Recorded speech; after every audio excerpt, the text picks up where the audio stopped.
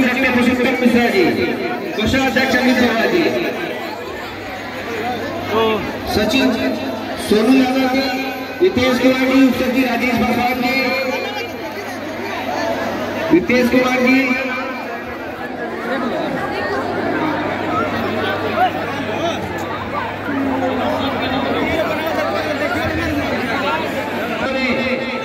थोड़ा सा संयम रखिए